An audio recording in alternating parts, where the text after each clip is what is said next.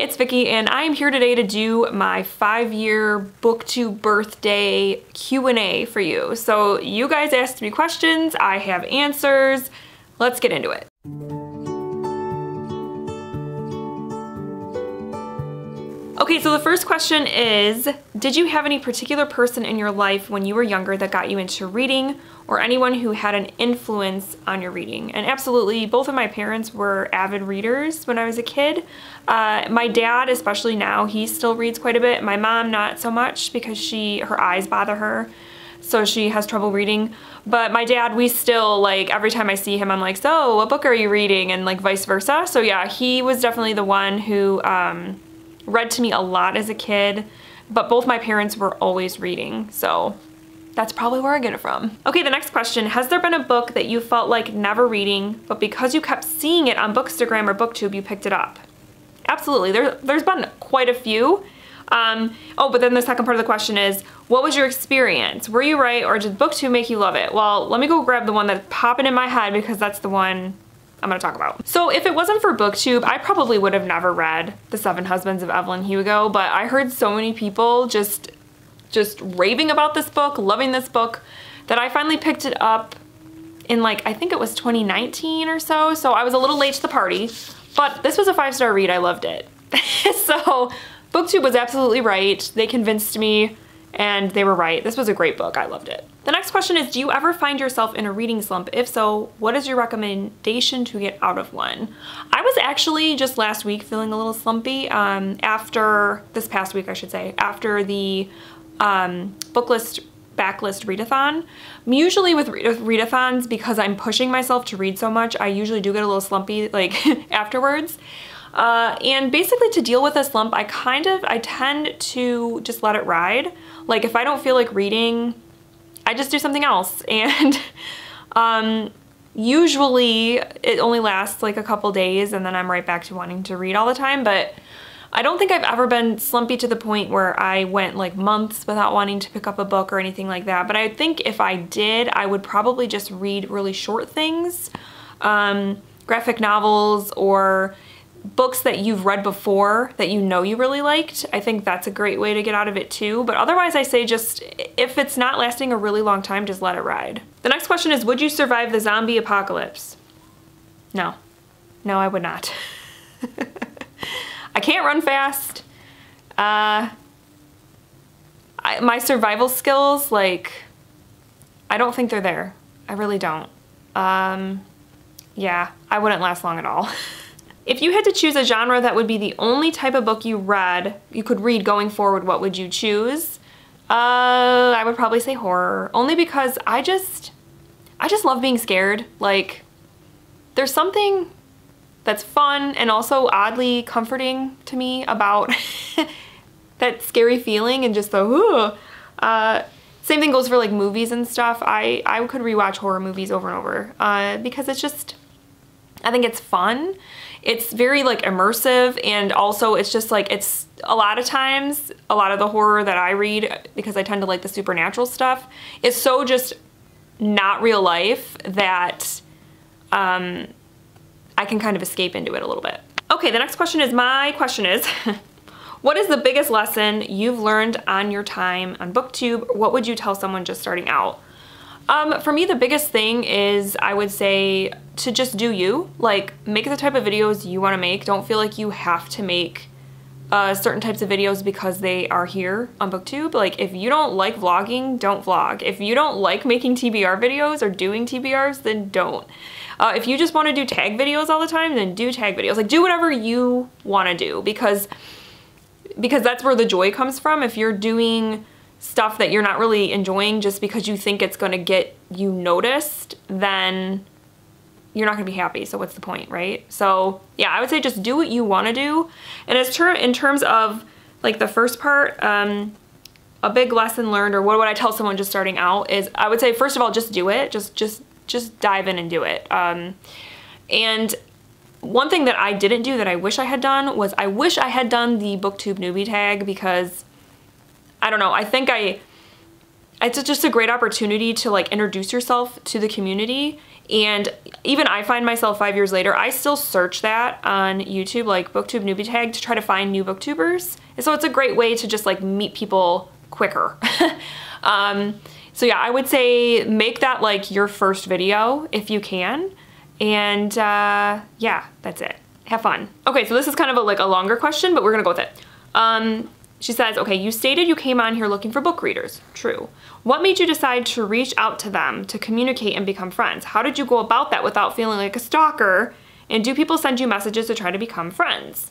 How do you trust that they are on the up and up? Um, for me, like, the way that I first kind of connected with people was through their videos. So I would comment on their videos and then you kind of get to chatting, um, especially if you keep, you know, you watch the, the same people regularly and you comment regularly, you do kind of feel like, and they respond, you do kind of feel like you get to know them. And that's how it started with a lot of the like friends that I have here on BookTube. Um, and then it kind of from there, it kind of was like, oh, let's do a buddy read together. And then kind of like when you're buddy reading, you're checking in with each other a lot more kind of on the side, like, you know, privately messaging each other. So you kind of tend to talk more about like your day and what's going on in your life and so you just get to know them better. So it doesn't to me it didn't feel stalkerish at all. And you know, I've had subscribers um, you know, asked to do a buddy read with me and I'm I'm pretty much always open to do that. Um, and it didn't seem it didn't seem creepy to me at all. because I feel like that's why we're all here. Uh, and I've never had that vibe from any of the people that I have like talk to or become friends with it, that they were that they were being like weird. Okay, the next question was one that was already asked. Um, if you were told you could only read one genre of a book from now on, what would you pick? And I would pick horror. Okay, the next question is what is the biggest challenge concerning your channel that you have overcome in the past five years? Uh, for me, um, especially in the beginning, because I I think I mentioned when I did the announcement for this video, I was recently a stay-at-home, have recently become a stay-at-home parent and I had it so I had a two and a half year old and I was pregnant with my son. And so that was an adjustment in itself. And so in the beginning um, I sometimes struggled with uh, filming and stuff. Um, and I was I think I was doing like one video a week because that was like what I could manage and I would do it like while my daughter was napping and stuff like that. And then it has kind of evolved where now it's like I'm in a rhythm.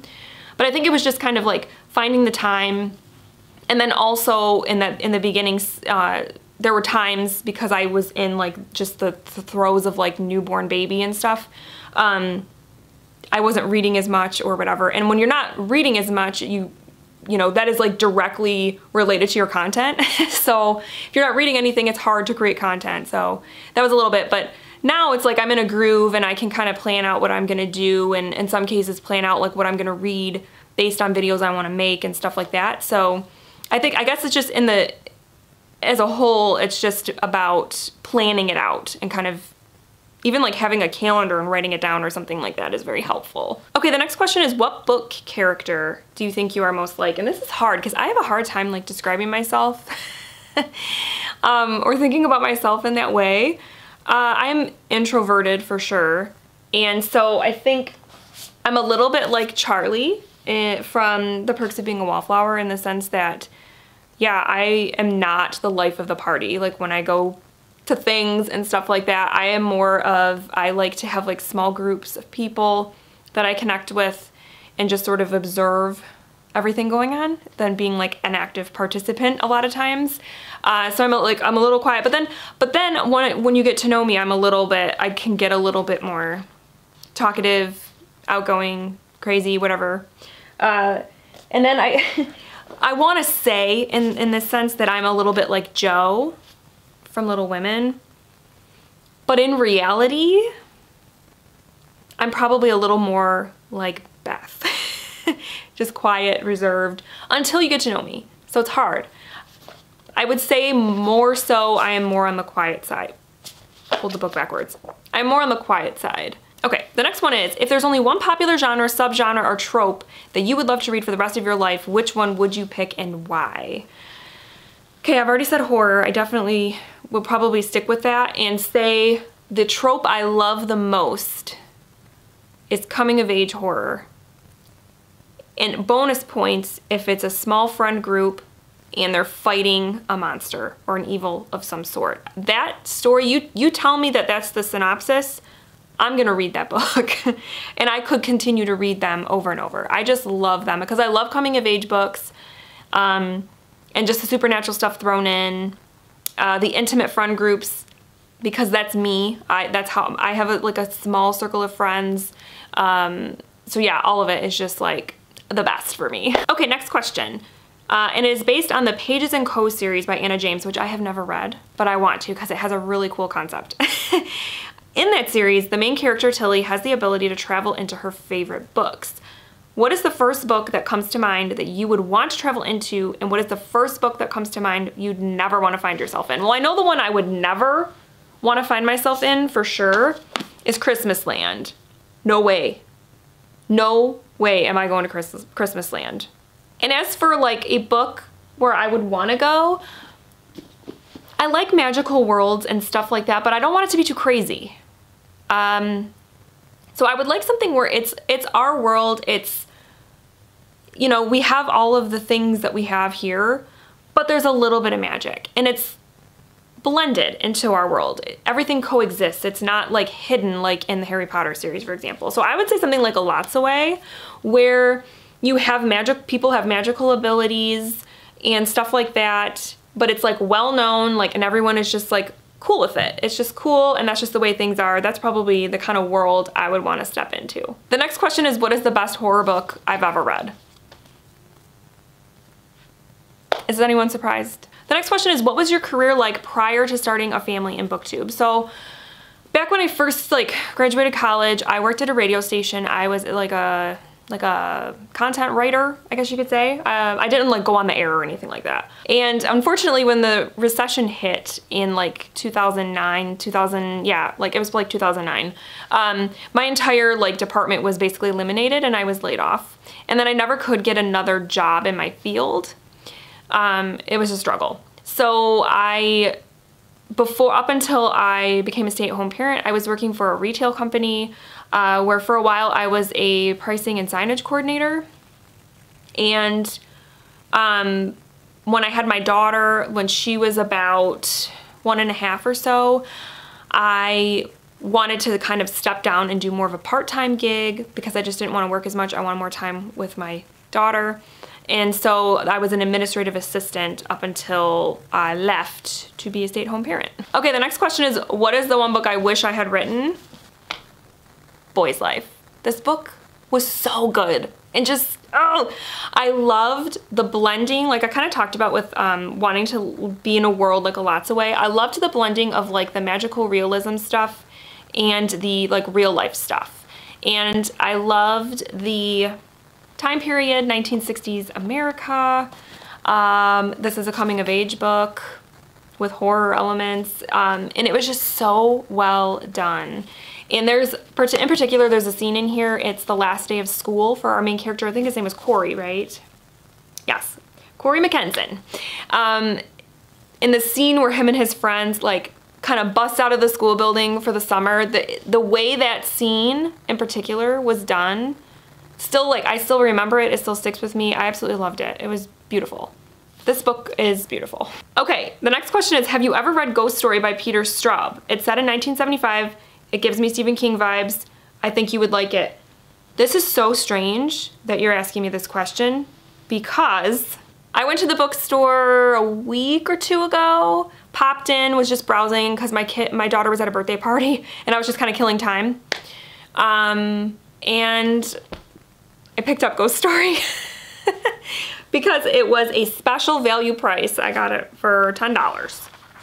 And I this has been on my TBR for a while. I've always wanted to read it. I've never read a, a standalone, like a Peter Straub book that's just by him. I read The Talisman that he wrote with Stephen King and really, really liked that book. So that's so odd and kind of awesome that you asked me that question because yeah, I just I just bought this. The next question is, what is the most memorable book I've ever read? And for that, I'm gonna go with a classic, and that is To Kill a Mockingbird by Harper Lee. Um, because these characters just, I've read this book twice. I read it in high school, like required reading, and I actually like really loved it. and I read it again, I'd say probably in the last 10 years or so. And uh, it's still just has stuck with me. The characters, um, the relationships, um, obviously like the social commentary, just all of it, just the vibe, the like 1960s small town southern vibes were just so good. And this is one that I probably, I honestly, I feel like I'm due for a reread of this. It's been a while. Like I said, I think I've last read it probably like 10 years ago, but yeah, this is, this is one that I really, really loved. Okay, the next question is, what is one book that you wish you had never read just so you could have the joy of reading it again for the first time? I'm gonna say The Elementals by Michael McDowell uh, because this book was like really surprising. It was one I had never heard of until BookTube. So that would be a good one for that question as well. I read this because of BookTube and I loved this book so much. Um, I loved the, the atmosphere. I loved the characters specifically. There's a mother, um, not mother, a father-daughter relationship in here that I know some people didn't like. I thought it was great. I loved it. I loved their banter. It was great. Um, yeah, and I just, I remember this book isn't very long. It's only like, yeah, like 200 pages. It, I, I took such a long time to read it because like I didn't want it to end. And that's how you know it's a really good book, when you purposefully take your time and slow down because you don't want it to stop, right? And that's what this book was for me. The next question is, what is a favorite band or music artist you recently discovered? I'm really gonna age myself here and say I'm at that time in my life where I'm not really finding new music. I'm reverting back to the music of my youth and revisiting that and listening to that a lot, especially lately. Um, so a lot of like 90s rock, like 90s like hard rock, even 90s pop, because it is was still a part of my childhood. Really like all music from that era, other than country. I, I don't like country music. That is like the one genre like I cannot, I cannot do it. I just can't do it. Um, but yeah, that's like where I am. I I don't seek out new music. I probably should. But other than like bands that I have been listening to for 20, 30 years coming out with new stuff, unless that counts, I haven't really been seeking out stuff. I just like to stick stick with the, the, the old stuff, the oldies. Next question, have you always lived in Michigan? Yes, I'm a Michigander, born and raised. Okay, are there any books you've reread years after first picking up where you felt totally different about it the second time around. Either you loved it the first time, really disliked it on the reread, or vice versa. Yes. and this is pretty recently. When I was a teenager, maybe even like late middle school, high school, I was obsessed with Anne Rice and the Vampire Chronicles and would like tell people that, you know, she was one of my favorite authors. That's what those were like my favorite books. And so last year, um, actually Bobby and I, for our book club, we decided to reread, both of us, we wanted to reread Interview with the Vampire for our book club. And when I reread this, I was very underwhelmed. And it, I gave it three stars. I, I was kind of bored by it. Um, and arguably, like, it's not the best book in the series. It's the first book, but it's not the best book. Um, I think there are uh, better ones in the series, but and I just I kept like while I was reading it I kept asking myself like what did I what did I see in this that was so great? I don't know. I just don't know. But yeah so this one definitely my my thoughts definitely changed on this one. Okay so this person asked do you have a reading routine as in a preferred time of day to read or is it just as and when you can fit it around your family? No I, I definitely have preferred times of day. Uh, I'm one of those people right when I wake up in the morning I like to read. Um, especially in this house, if I get up early enough, uh, the house is quiet and I can just read in silence or I'll put on like an ASMR. Uh, I like to start my day off by reading. Um, so like I'll make my cup of coffee and sit down, do my Wordle for the day. If anybody of you, anybody out there still does Wordle, I do Wordle. I do my Wordle and then I read. And then I will also read in the middle of the day, like once I take Hunter to preschool, I have like like two hours in the middle of the day uh, when you know no kids are here and so I will read then and then I like to read before bed but I usually don't last very long reading in bed I end up falling asleep so yeah, definitely like my favorite time of day to read is like first thing in the morning. Okay, this person asked if I had any middle grade recommendations. I sure do. Uh, first up, these first two were from kind of my childhood that I really enjoyed. And the one I have reread recently and I feel like it's still held up. If you want like creepy stuff, I would definitely say Scary Stories to Tell in the Dark.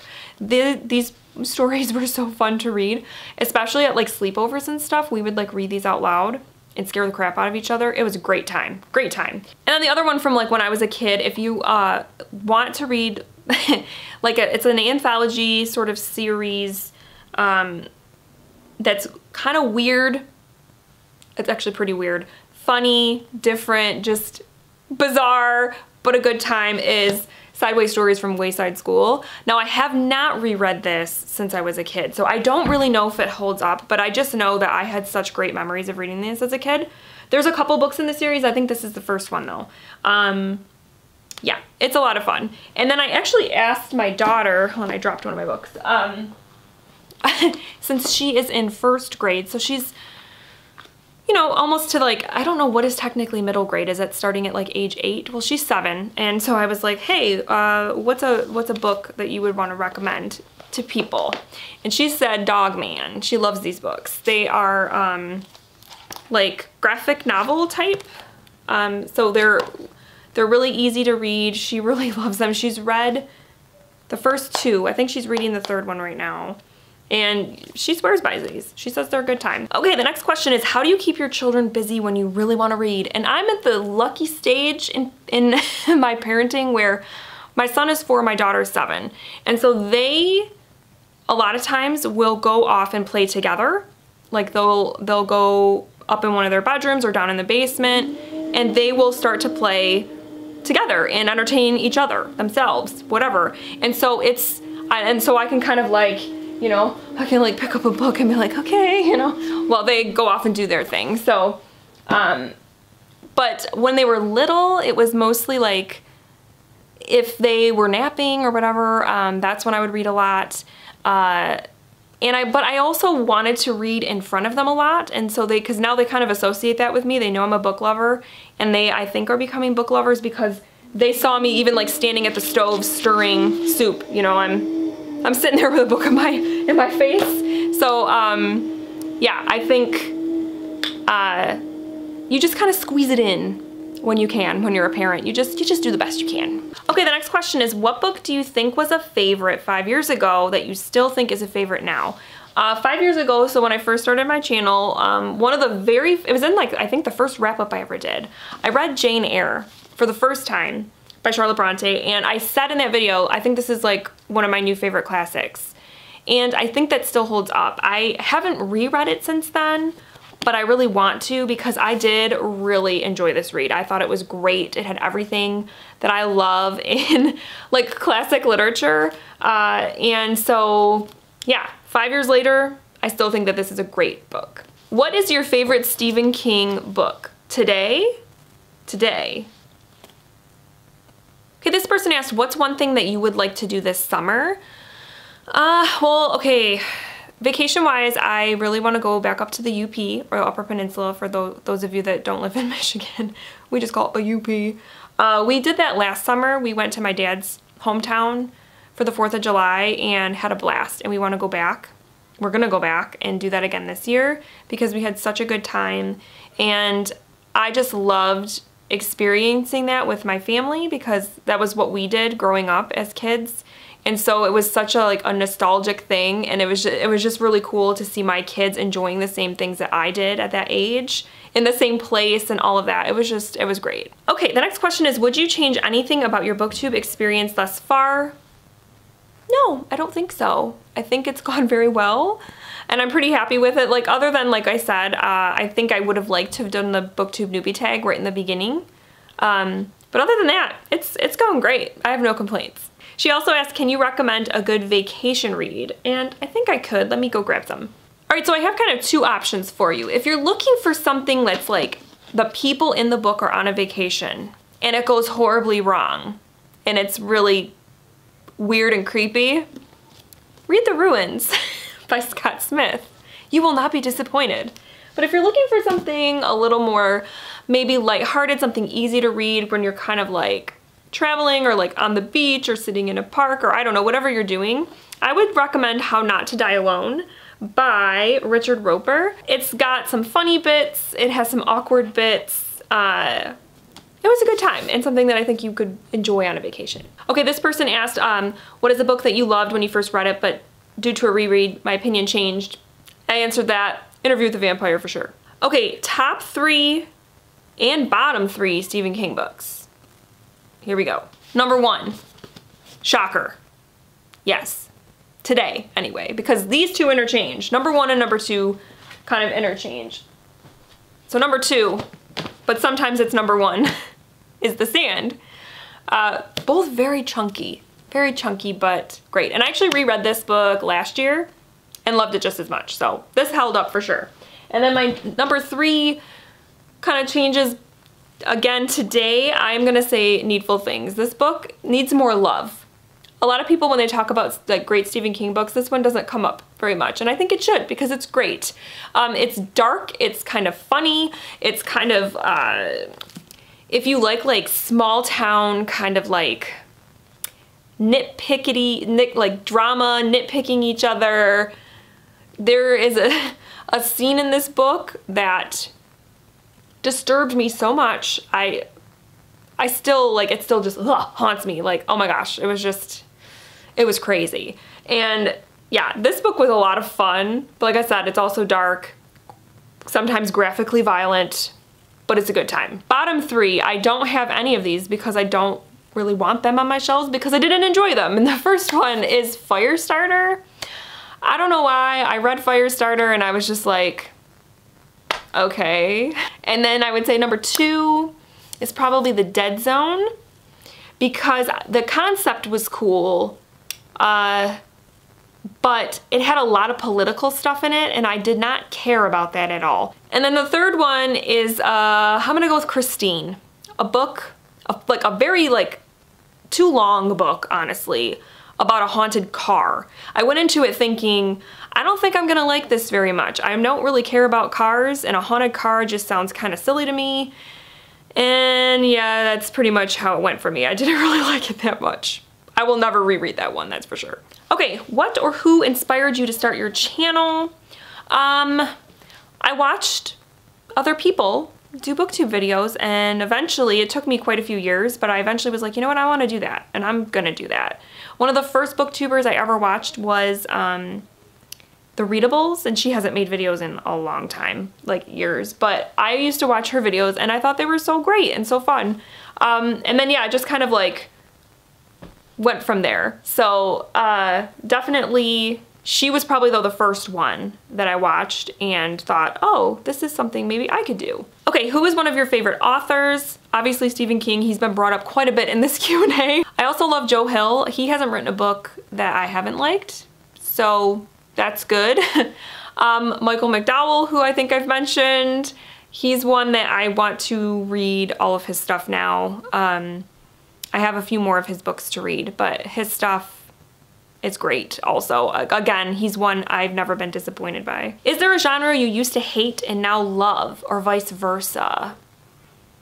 No, I don't think so. Um, there's definitely genres that I didn't read as much when I, before booktube, that I read more of now and enjoy, like um, historical fiction. I didn't read a ton of historical fiction before booktube, but now I do read it and I do really enjoy it. Um, I've read a couple of fantasies, a little, like a dapple, just a little bit, and I'm still not sure. I'm not sure. It depends on the fantasy. if it's like super, super complex, they lose me. So it all depends. What is your favorite book ever? I honestly, I cannot answer that question. It's just too hard. Favorite genre? Horror. Who is your favorite booktuber that you watch? there's so many because so many of them are my friends. Um, so like I love Bobby at Bobby Reads. Uh, she's a riot. She really is. um, I love Sarah from Sarah's Nightstand, Lindsay from Lindsay's Little Library. I love Carol from Carol Marie Reads. Um, obviously I like the, some of the bigger ones. Like I love Books and Lala. Like she's so creative and goals, just goals. Um, I also really like Kaylin Abridged, her vibe. Uh, her vlogs specifically are great. Um, there's just so many. I can't narrow it down to one. If you could become a character in a book, which one would you choose? I'm going to say I would become Alice and go to Wonderland because it would be crazy. It would be odd. It's sometimes very um, frustrating, but I think it would be fun. What is my favorite place to read? Um, I'm not sitting in there right now because my husband was actually out front in our front yard doing lawn, like lawn work and making a lot of noise so I came up here to our room to film. But my my home library is my favorite place. Uh, my chair is right by the window so I can kind of like look out the window periodically. My chair is very comfortable which is important. And I just like to be surrounded by my books. I like to be able to sometimes just sit and just kind of like look eh, around at my books. That that brings me joy all-time favorite book I can't do it guys it's too hard What genre have you tried because of booktube that you normally would have never tried? Uh, I would say, like I said, historical fiction was one I wasn't really big on. Um, and also, like I said, a little bit of fantasy. Bobby is slowly getting me to read more fantasy. Like we read Kings of the Wyld last year for our book club, and I actually really liked that book. It was good. Um, so that one I'm, I'm still I'm still thinking about. And then the last question, do you have any collectible first editions or um, being such an avid reader, are you interested in rare books? And honestly, like I'm not. Um, I think there are definitely editions of books that I would like to get my hands on. Uh, ones that I prefer in terms of like hardback, paperback, or the, the look of the cover or whatever. But other than that, I don't really, it doesn't like, I don't seek out like signed books or like anything like that. Um, it's just kind of whatever I can pick up, I pick up. Though I do like to try, especially like in series and stuff, keeping them all the same. Um, but other than that, yeah, it's not really, I'm not really huge on that. All right, so now to announce the giveaway winner. So this person uh, wins a $25 gift card to Book Depository. And what I did was I counted how many questions I had or how many people um, asked questions and I put that number, which was 43, into a number generator and it picked a number for me and I counted and saw who that was and they were the winner. So that's how I determined who won. And the winner was Laura R. So uh, Laura, if you can, uh, email me your address and your pick for your book depository item or items up to $25. And I'll also comment on your comment so that you know that you won. So yeah, congratulations. Thank you so much for asking a question and I hope you enjoy your gift. Okay guys, we did it. We made it through the Q&A, woo! um, yeah, that was a long one. Um, thank you for sticking around if you're still here. Uh, yeah, I appreciate it.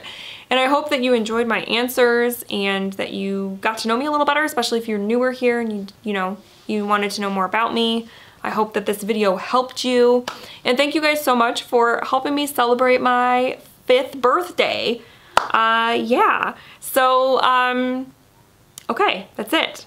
I hope you guys enjoyed this and I will talk with you soon. Thank you so much for watching. Bye.